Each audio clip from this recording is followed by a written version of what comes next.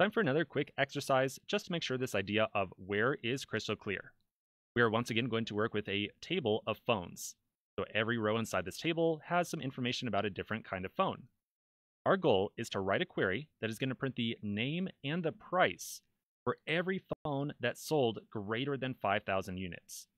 So what we really want to do here is take a look at the units sold column and only find the rows where we have units sold greater than 5,000. Go ahead and try to write out this query.